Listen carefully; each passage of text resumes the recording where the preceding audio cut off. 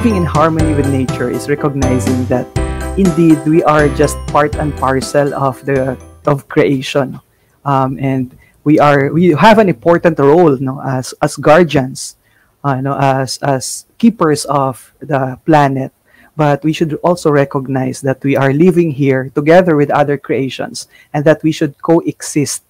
and um, and also to consider that uh, we are um, using or we are taking care of this planet. Um, you know, using the resources, but not just for our benefits, but we should leave something for the future generation as well.